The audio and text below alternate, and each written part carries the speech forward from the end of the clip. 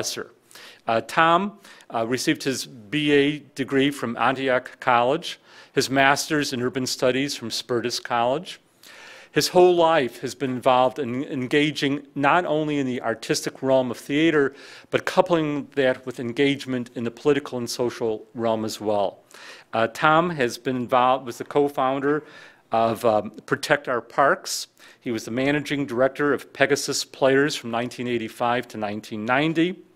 He created the Chicago Young Playwrights Festival.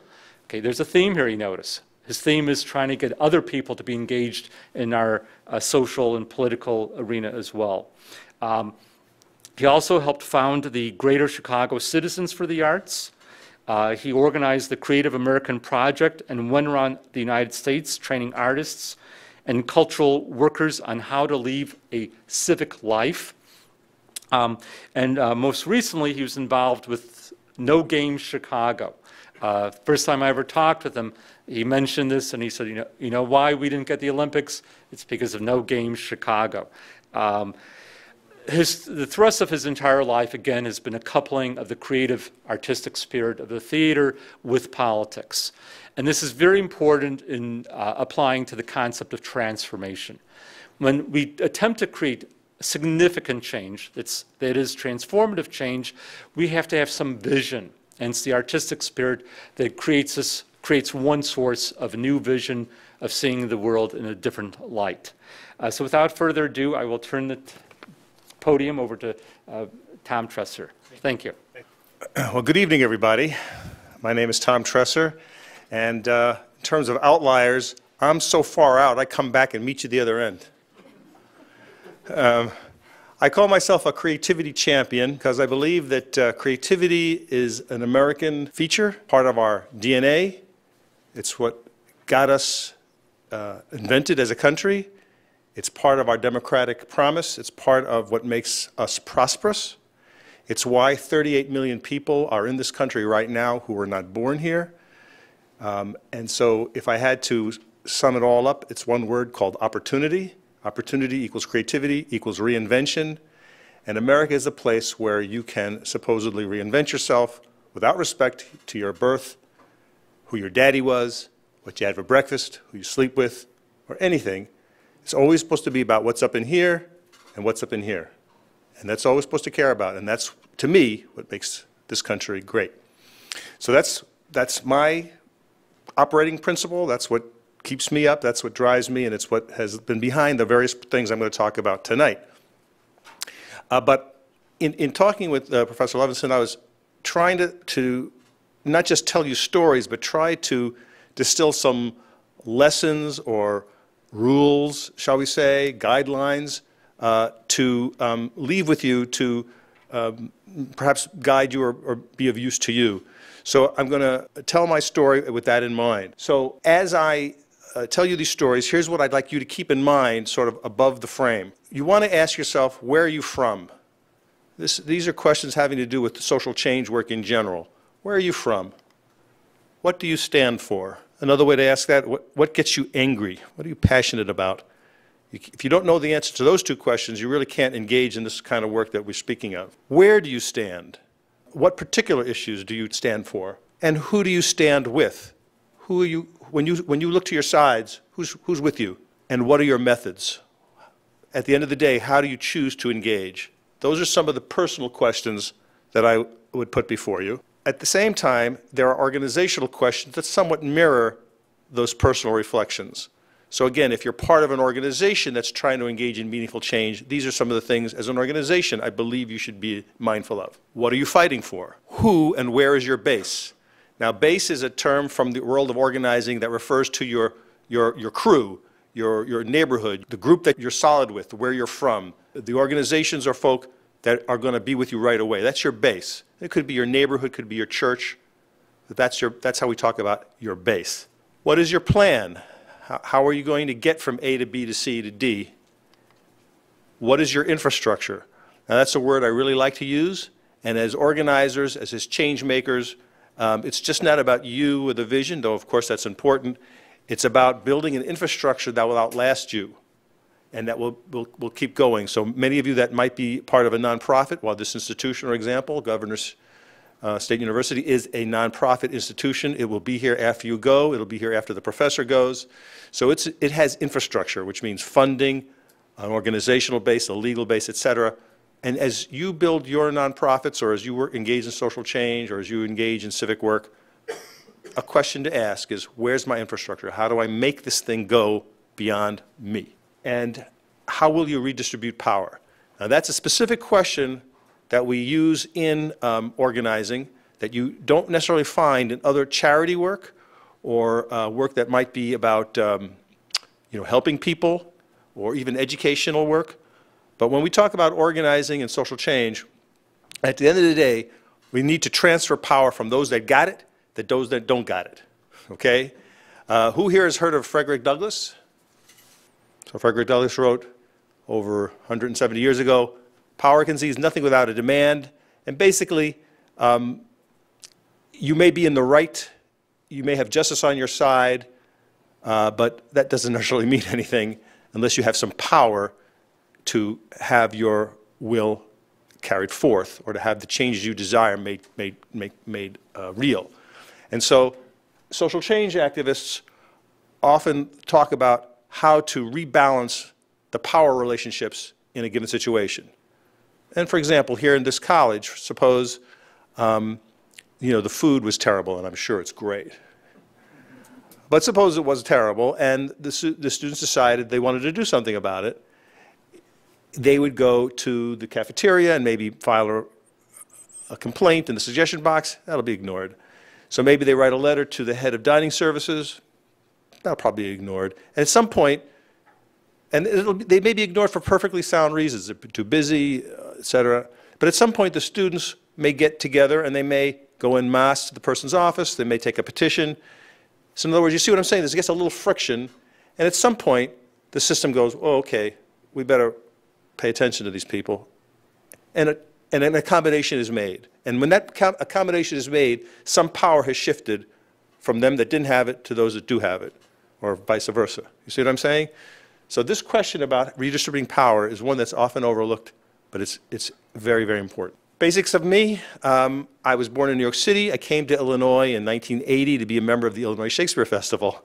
So I am a former Shakespearean actor and theater producer. As I say, I'm a self-styled creativity champion. I've started or led eight nonprofit organizations in the arts, community development, and civic engagement. My hobbies are politics, history, travel, volleyball, science fiction, and photography. I've been married 18 years to the marvelous Merle Green Tresser. So that's me. Just to give you a visual story, so there's me as an actor in a, in a cheesy melodrama. There's me as a producer, um, not actually in the picture, but I produced Frogs in a swimming pool. We called it Chicago Splash Hit Musical. I worked for People's Housing and created a community arts program there that combined economic development, culture, and training. That was in the early 90s. This is in the north part of Chicago.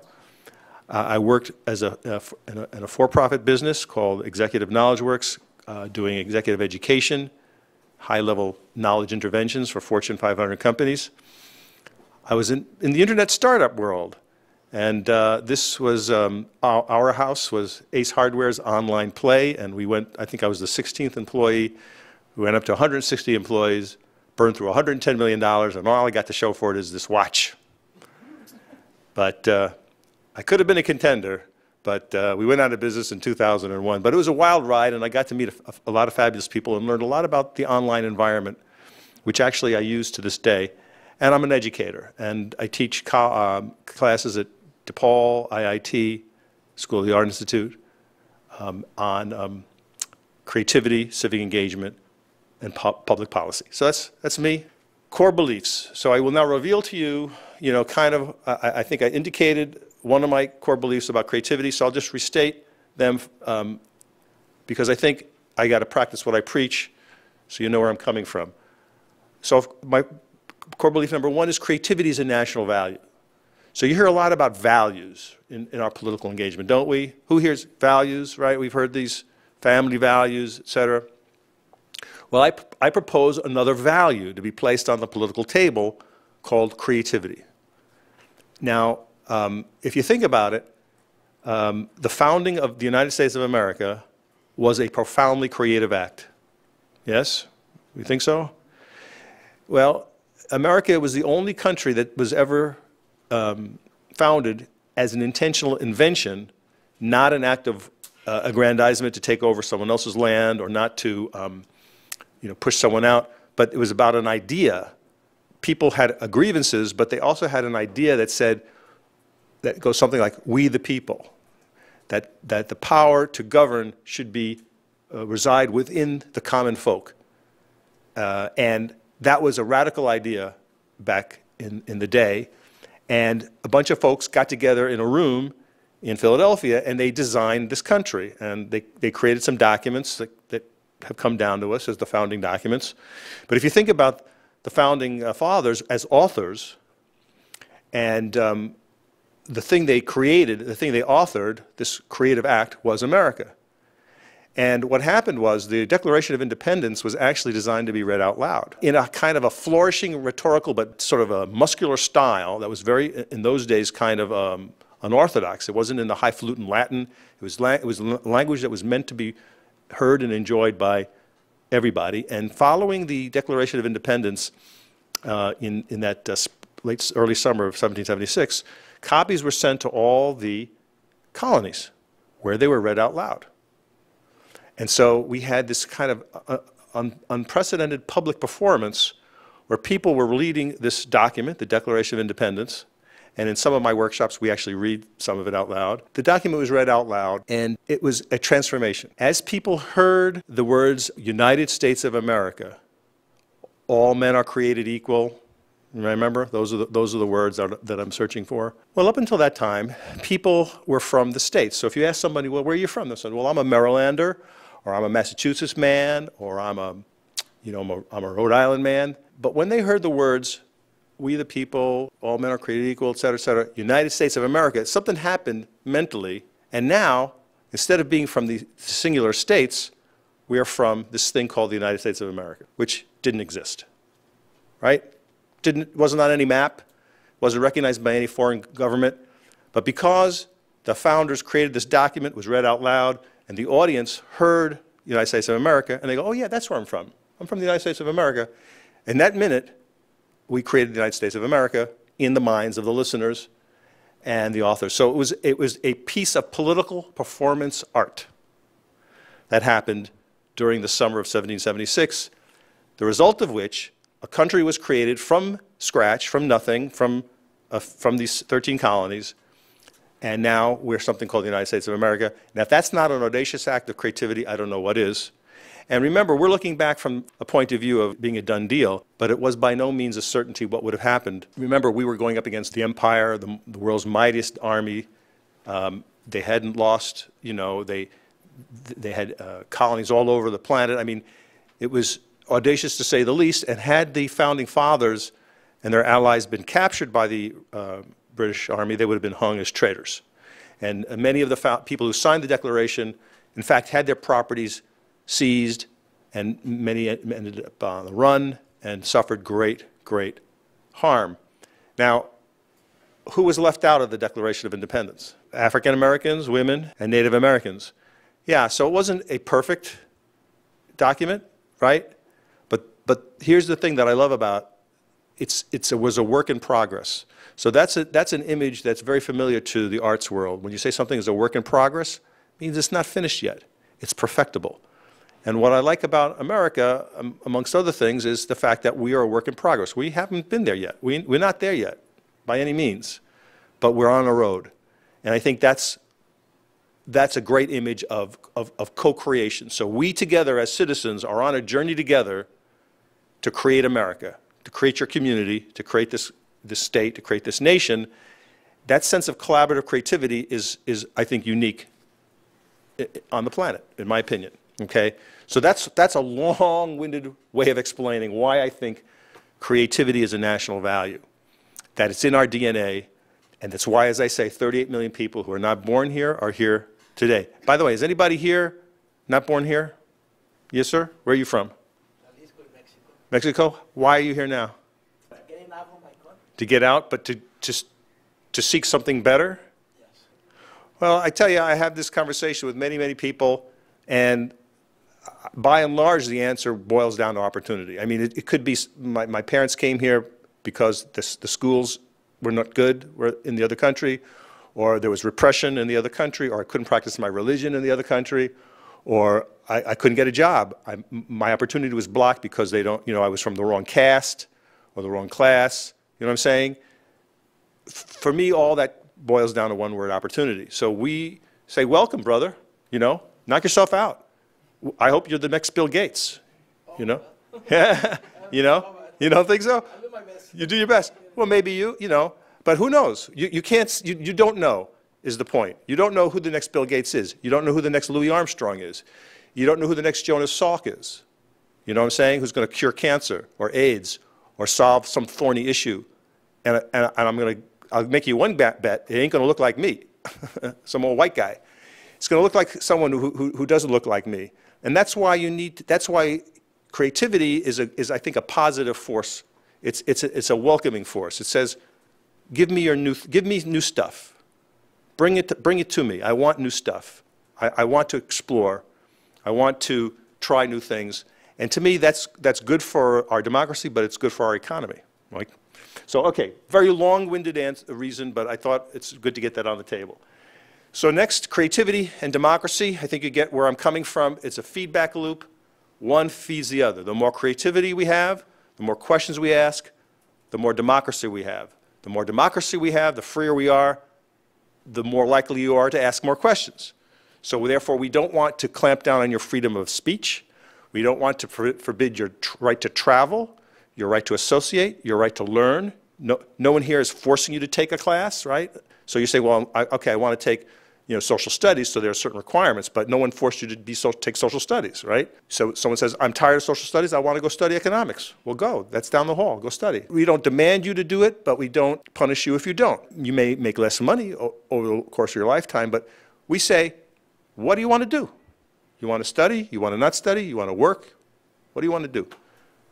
Well, the more that we have of that, the more, the more dance we have back and forth between creativity and democracy.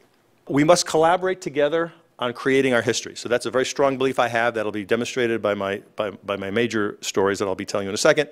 And that is, um, we are not bystanders, ladies and gentlemen. We are active makers of history. That is my position. That is what I believe we should all be. We should all be active makers of history, not watchers, you know, sitting on the uh, couch potatoes, letting the bus go by.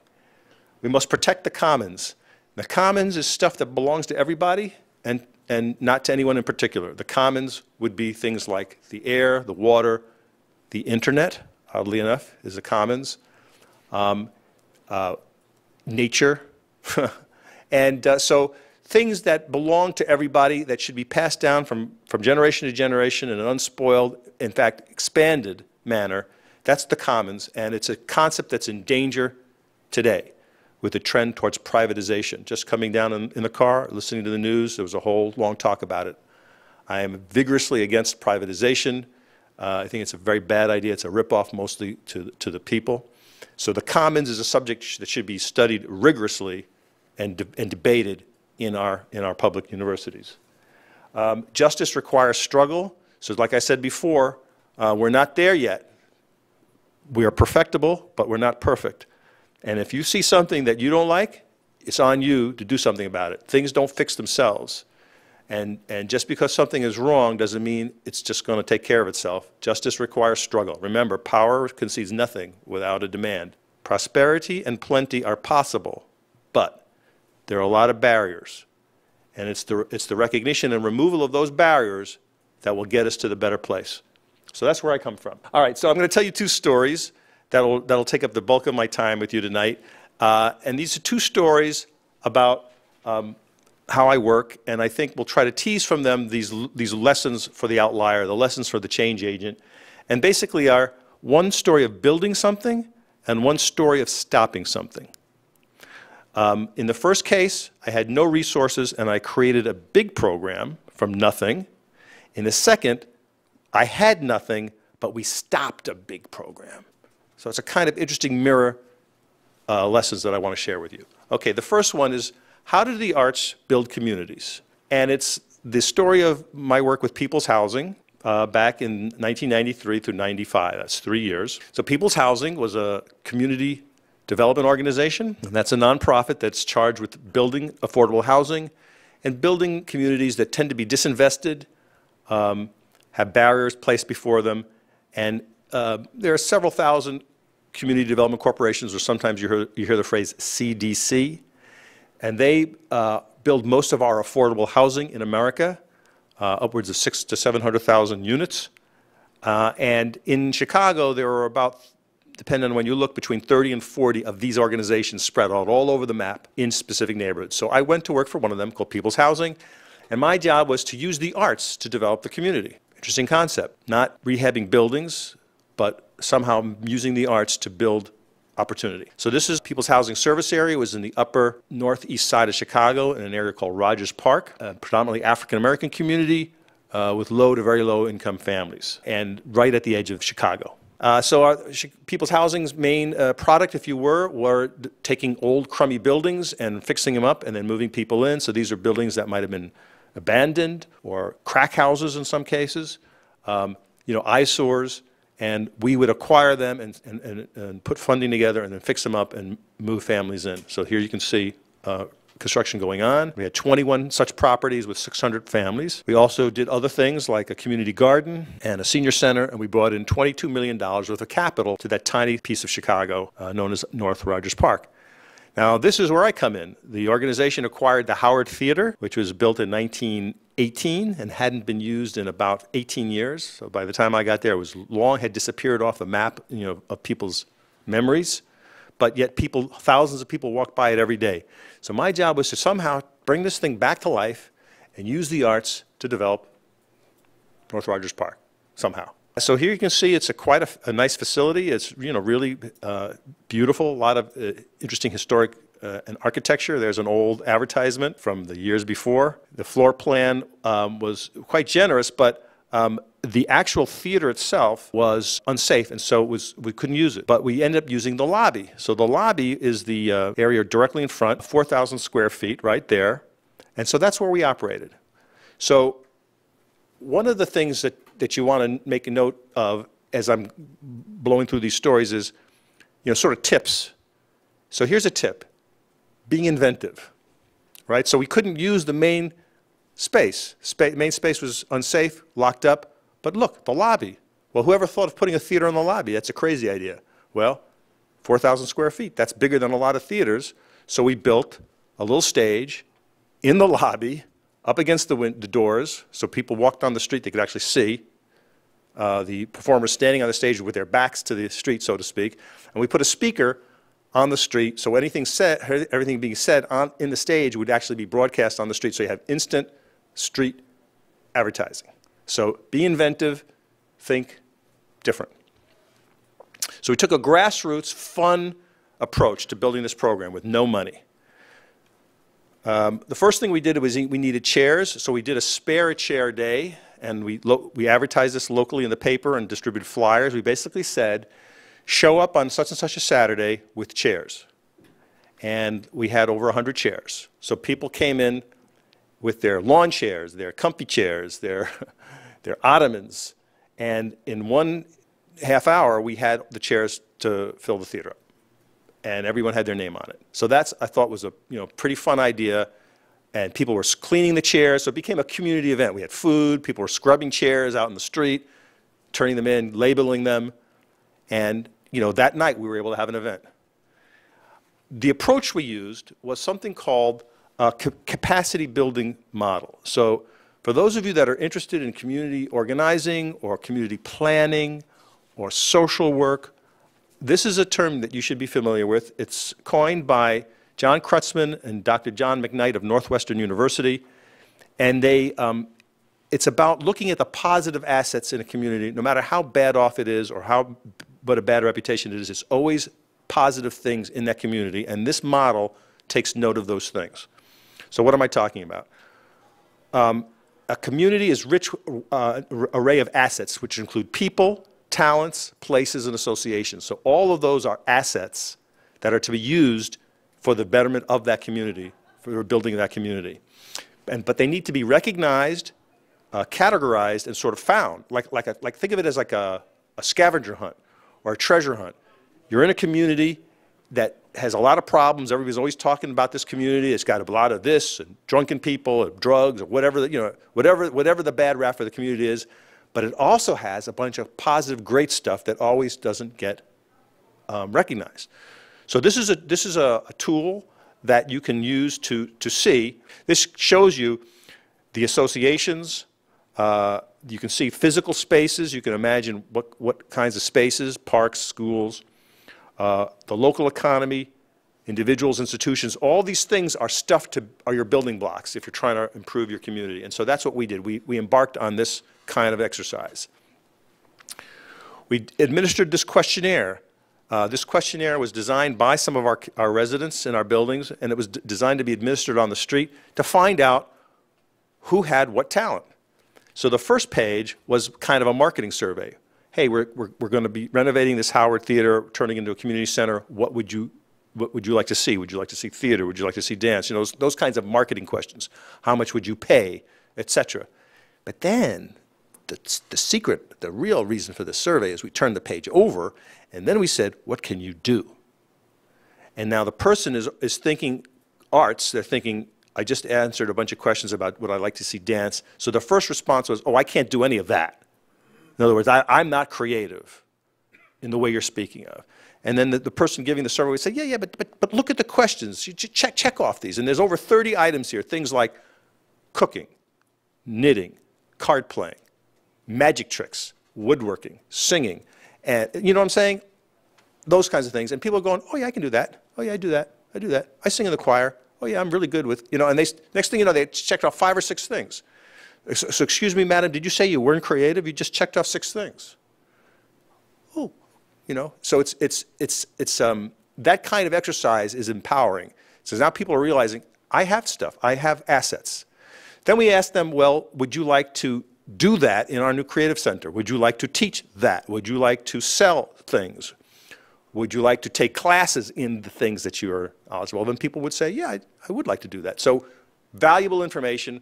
We administered this questionnaire for about 1,000 people, which is about 3% of the entire population. It's a lot of, it's a, it's a good sample. And that information helped us to build our program.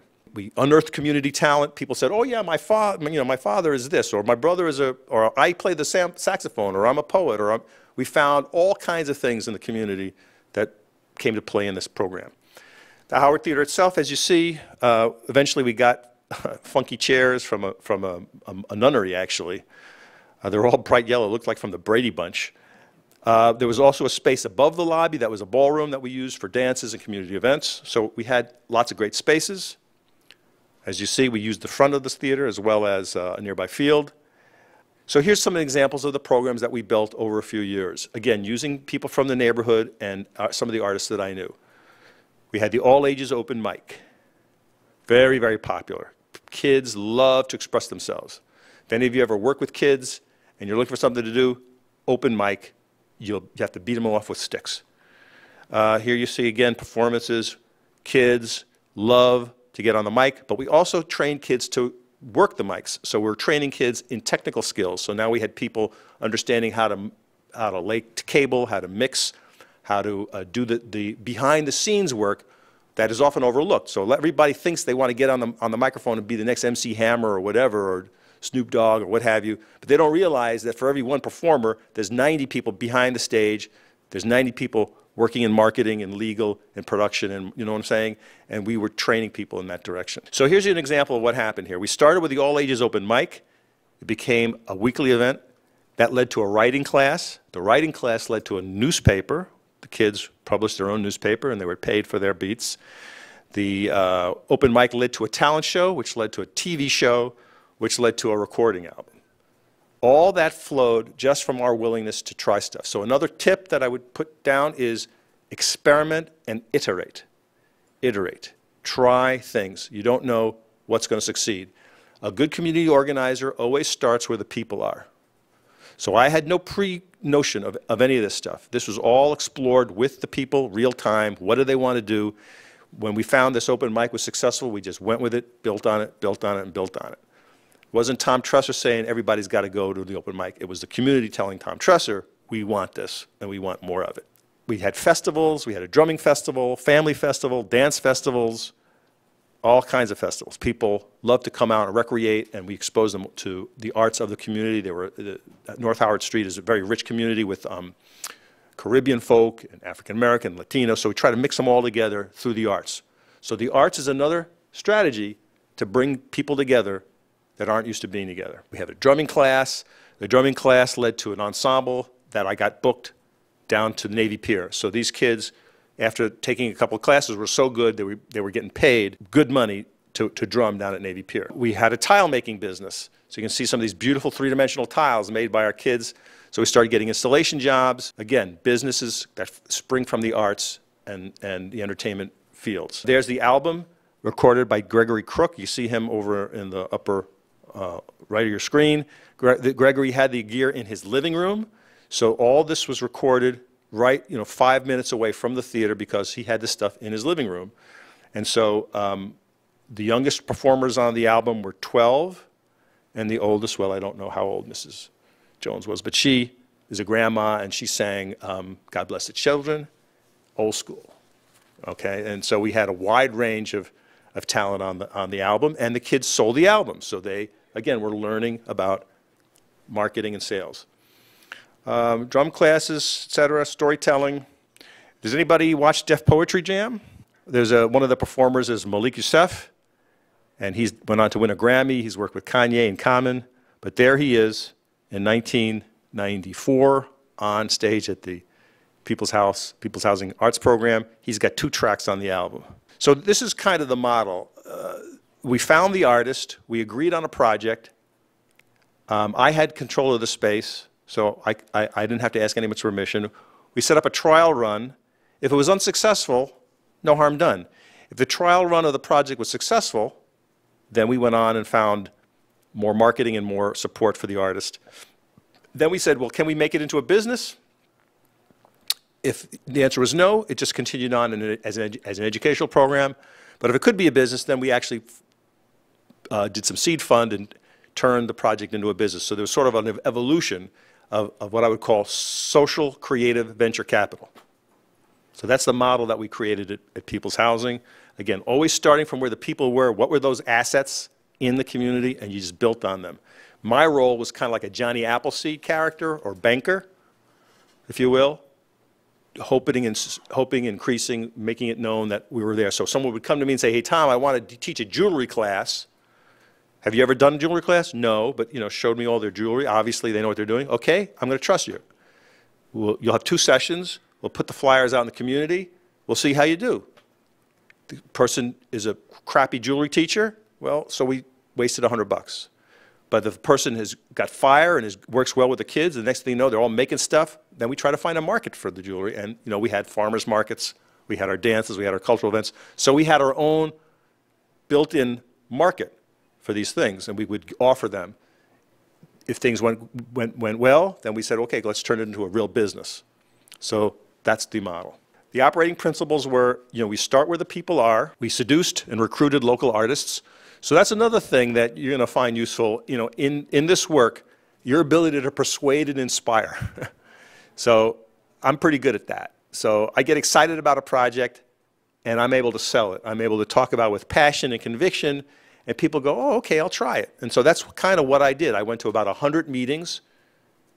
You know, what I didn't show you were all the, the, the places I went with my, my, with my, my presentations and my, my little models, you know, telling people all over North Howard Street, all in, all in the Rogers Park, about this project and why they should help and why they should come. And oftentimes people were saying, well, thank you very much, we have to move on, and that was the end of it. But oftentimes people would go, hey, that's great, I want to be part of it. So being able to be a good salesman and a good ambassador, very important. We leveraged our, ma our mastery of space, so that's something that was unique to people's housing.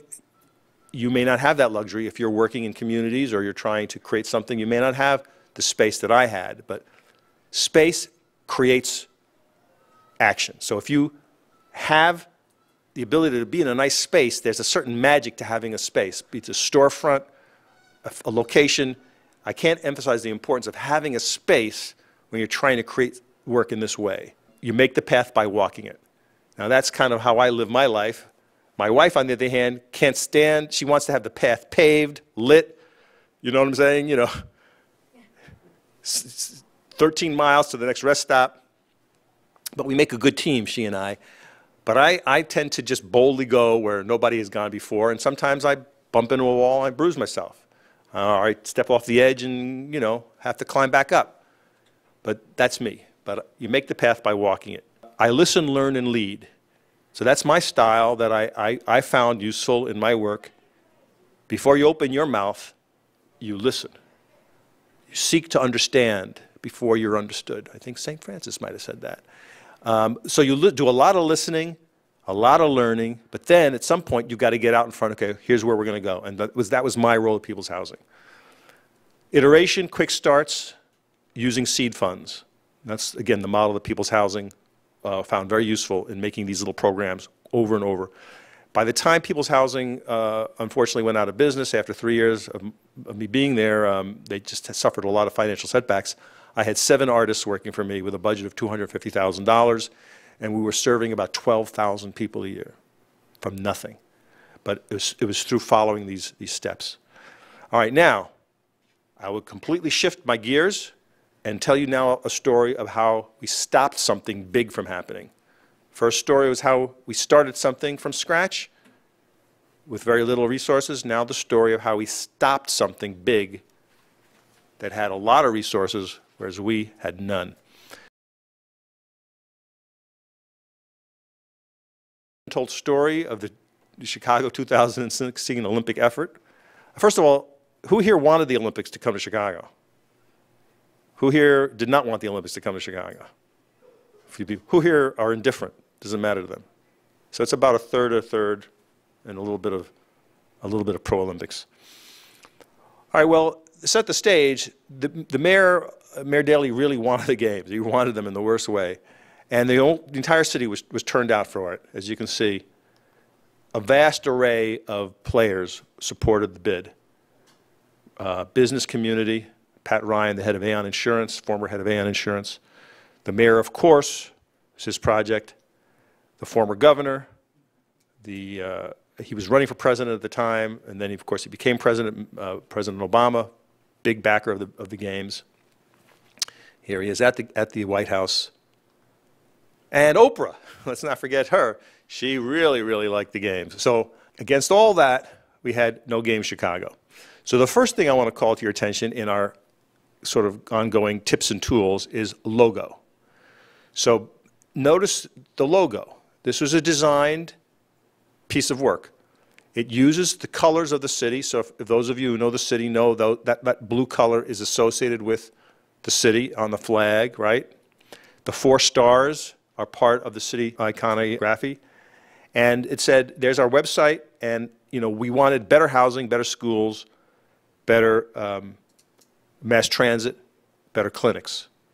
So we were saying no, but we, we were also saying you got to say no to the bad things so you can get, have the good things. But the, but the name of our organization was No Game Chicago. We were a diverse group of social justice activists. We were from all over the city. We were all volunteers. Nobody got paid. We were funded by no one. Uh, this was a radioactive issue. Nobody would touch this issue in the city of Chicago. Nobody would talk about it or interrogate it in any meaningful manner. Our first event was a public forum at the University of Illinois in Chicago, January 31st, 2009, attended by about 250 people. So why we opposed the games? Well, because they would have bankrupted the city. The London Games, which are going to be done in 2012, are $9 billion over budget. Uh, Vancouver, which just held the games, the city folk there are on the hook for about a billion dollars, and the Winter Games are much smaller than the Summer Games.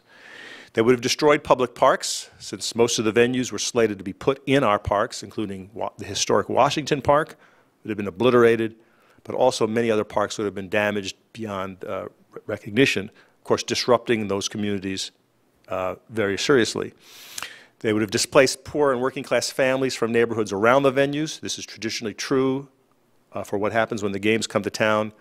And many in the uh, African American communities around Douglas Park and Washington Park were very cognizant of the ongoing uh, move to gentrify them and move them out of their long held neighborhoods. And developers and speculators were already circling around those areas like vultures, and, um, and the, the pressure was already on a year, you know, even before the games were even awarded, speculation was rampant in those communities, and longtime activists were dreadfully afraid of what would happen when the games came to town. But then, from for those people who are interested in, in independent politics, there was another reason to oppose the games, and that is because the way Chicago politics works is, you know, when big projects are awarded, there's always kickbacks to the machine, to the mayor and his allies. And this, because this would have been billions of dollars worth of contracts, it would have been tens of millions of kickbacks that we believe would have found their way into the mayor's political coffers. So that means anyone running against the mayor or against any of his cronies or allies for the next 20 years would have been, a, would have been found their, their race impossible because their, the, the, uh, the, the machine candidates would have been flush with Olympic kickback cash. It's already hard enough to challenge someone in the Democratic Party in Chicago. Let me tell you, I know from firsthand, had the games come to town, it would have been the end of democracy as, I, as we know it. Pretty dramatic statement, but that's, that's kind of how we believed it. So we did all the research that no one else would do. Uh, we went deep into the literature. We talked to people from other cities. We looked at studies. Um, with, again, with no staff, but just is there in, independent volunteers just doing the research to find out what has happened in the past, what do we know from the record. And we found out the, the things that made, made uh, us be very alarmed. Uh, so, you know, Vancouver's bond rating was lowered. The city was facing bankruptcy. Um, and when you, when you lie about your finances and disguise expenses to make your project look better, we call that Enron accounting. So we felt that the 2016 committee and the city of Chicago was accused of Enron accounting, and that got press. When we, when we backed that statement up with our evidence, that gave us credibility. That people are saying, well, where's your documentation? And we'll say, well, here it is. So another tip is do deep research. If you're doing this kind of work, you better be better, you better be really well prepared. And it doesn't matter if you don't have a staff and the other guy has a staff. The, the mayor has a big staff. 2016 committee raised almost $80 million. They had a big staff. Some of those folk were making $400,000 a, a year. But you have to be as well prepared and able to, to box with your opponent uh, regardless. And so we did the deep research that gave us the credibility to speak before the media uh, and, and the media then started to seek us out. We engaged the community. So there's that first meeting that I mentioned on January 31st. Uh, that was the first public forum, if you can believe it. In, in, in, a project as big as the Olympics, there had been no kind of hands-on you know, meeting where you had the pros and the cons discussed. But we had a, a number of speakers from human rights, from housing, from education, all talking about why the games are not good. And there you, you can see the results. We had a rally on April 3rd, shut down the bid, and that coincided with the arrival of the Olympic evaluation team. So 13 people from the Olympics uh, came to Chicago to look at this, the venues, and they were given the royal treatment. We met them with 500 people in Federal Plaza saying, we don't want the games. They're not appropriate for the city. We have other priorities. We need better schools. We need better mass transit. We need better clinics.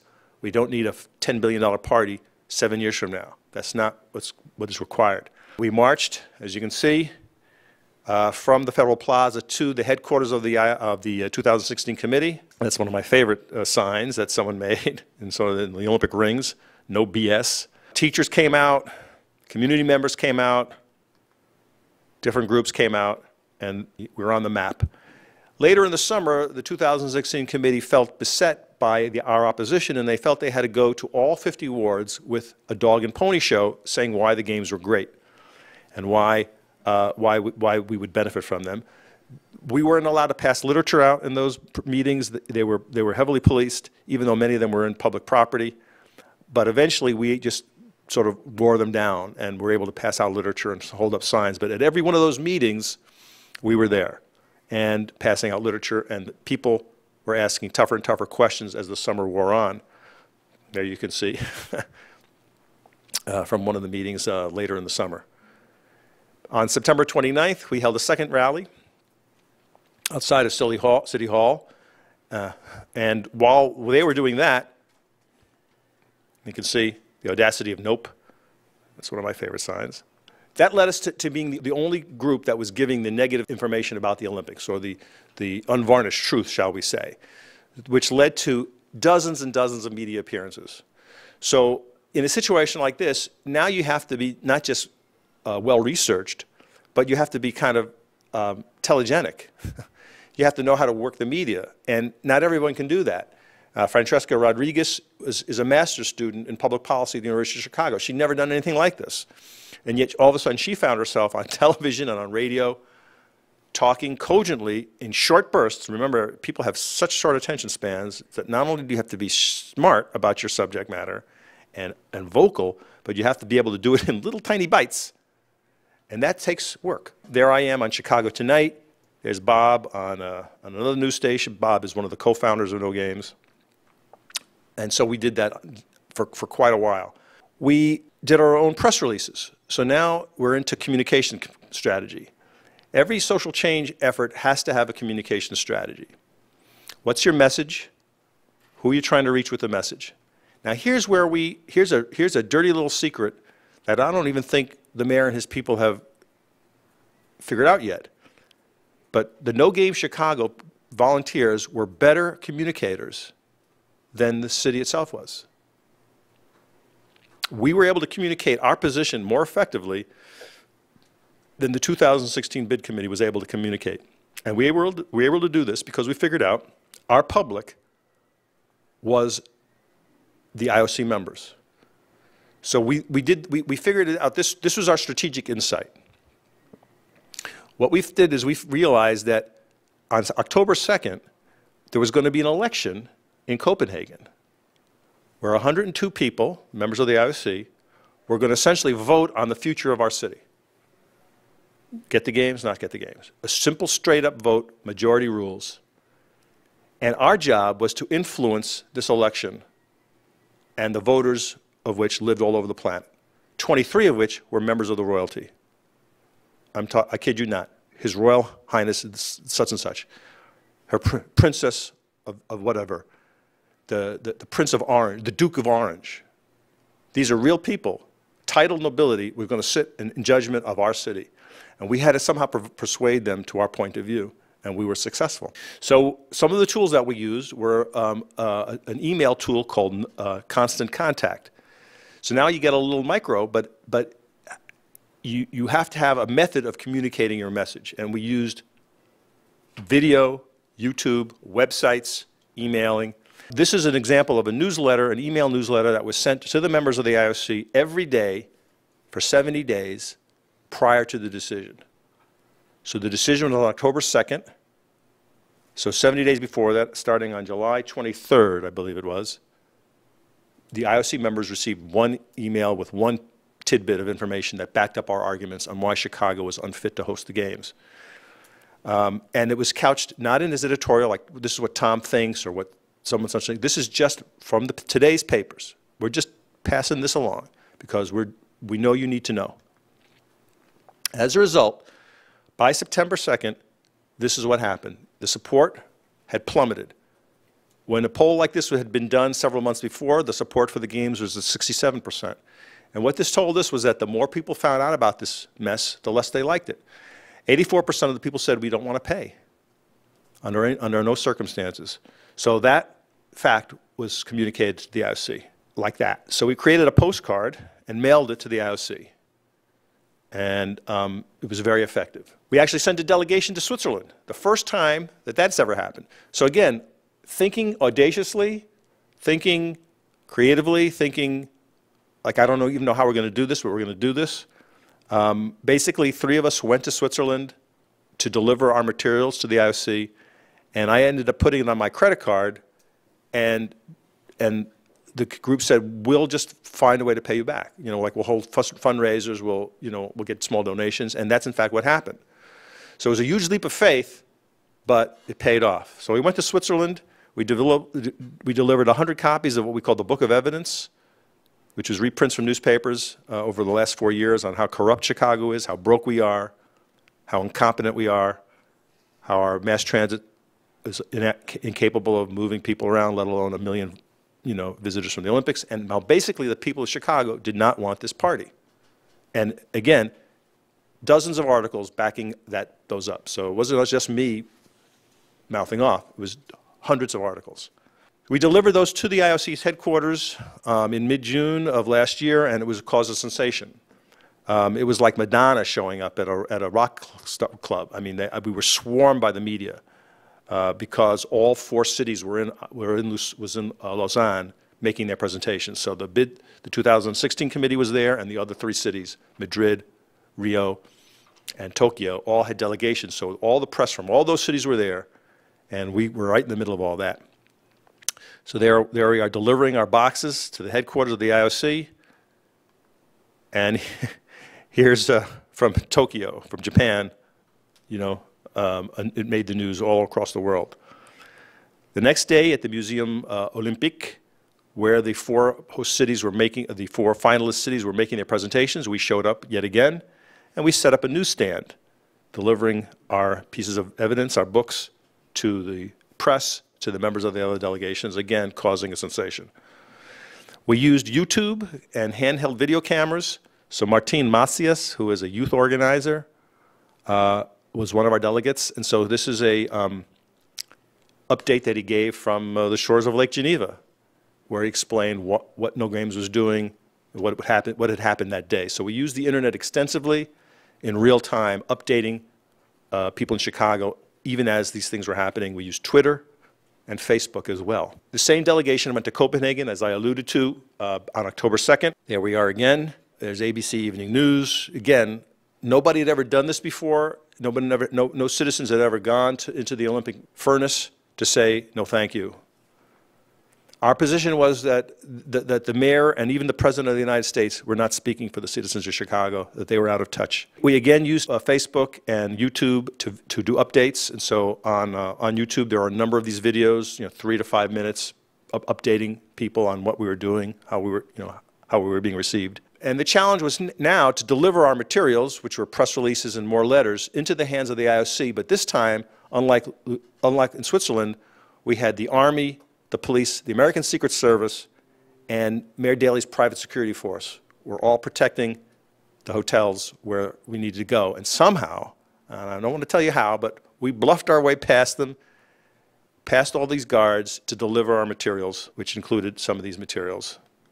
This is, this is actual copies of what we handed to the IOC. And there you see, actually at the moment of handing off the materials in the hotel, and on the way out, we posed with the Army.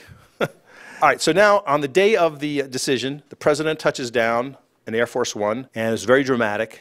It was drizzly. He goes on his way to the Bella Center with his motorcade. And again, we felt the entire force of America, you know, the, the weight of the government, the weight of Chicago, the weight of the president himself was behind this bad policy.